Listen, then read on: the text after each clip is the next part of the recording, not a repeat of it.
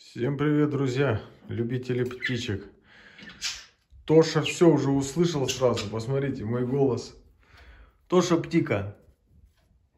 Ох, Тоша дерзкий, Тоша синий, Тоша быстрый, Тоша молния. Вопрос мне задавали, Тоша любимчик или нет. Конечно, любимчик. Но я не могу ограничить и нашу зеленую тоже бестию. Вон она сидит. С характером дама. Вот. Я вообще открою попозже. Не будем там щуриться через клетку. Вот. Вообще хочу на один вопрос ответить. Видео-ответ сделать такой. Э, попугаев купили люди, да? Двоих. Это мои земляки, привет им, они из Казахстана, тут в Германии тоже. Если меня слышат, очень рад. Не знаю опять, что я сейчас там наговорю, да, из, из своего опыта. Опять же, я не, не, не пытаюсь там кому-то навязать что-то чисто. А я, кстати, верю в практике. Так что слушайте внимательно. И у вас будет счастье. Э, вот. Купили, в общем, люди два попугайчика. Ну и теперь что делать? Они не знают квартиру, не знают, где что летать, как вот начать им это все. Естественно, когда вот берутся молодежь, да, молодняк, понятное дело, ты его на ручки берешь. Вот у нас тоже так было, мы его брали на руки и все такое. И он у нас, так скажем, с нами вместе учился этому всему. Вот. А вот если, естественно, уже попугай такой в возрасте, скажем, уже от трех месяцев это уже возраст, ну, взят он таким, то, конечно, нужно будет немножко усилия приложить.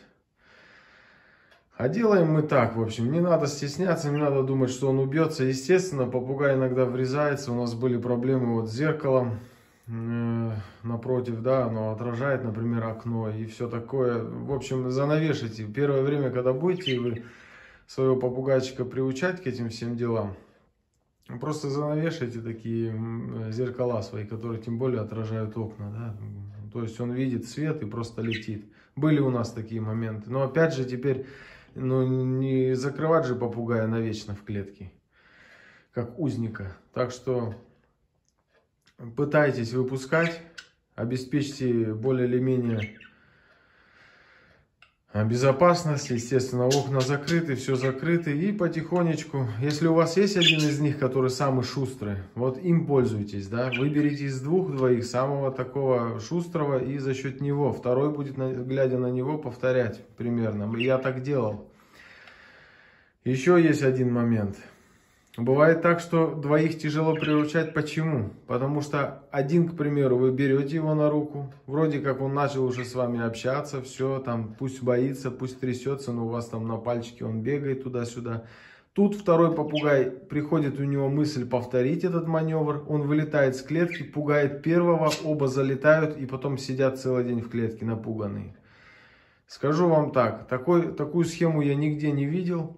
Но, с другой стороны, не хочу обманывать, может быть, где-то э, может быть, где-то я прочитал, вот сейчас, если не ошибаюсь, по-моему, да, наверное, на подсознательном уровне где-то у меня эта информация была. Не буду называть ни источников, ничего, но есть такой метод, да, просто э, закрываем одну птичку.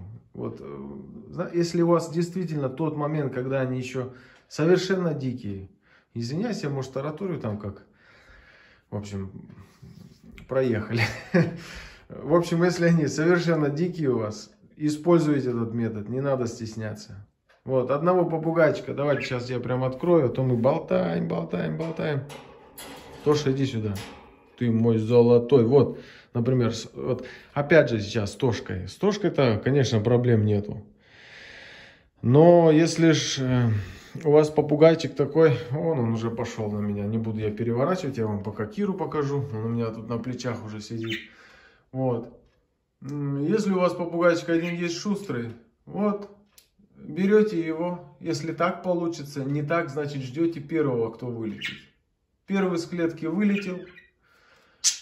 Э, да, все, и с ним вместе начинаете работать. Да? Первого, э, первый вылетел, с ним общаетесь. Та у вас девочка, мальчик, неважно, пусть сидит. Пусть просто сидит в клетке и не мешает вам этому процессу. Вот. Вот поставил я им эту птичку маленькую, такую декоративную. И у них вот Так что не волнуйтесь, попугай боится любого изменения. В клетке, на территории где-то поблизости. Так, они улетели. Придется, я же не буду вам про клетку рассказывать. Сейчас я еще одно место покажу, то, что она любимая. Вон он. Вот он сидит. Тошечка, ты мой золотой. Айда сюда. Слетишь? Вот он любит тут эти играться с этими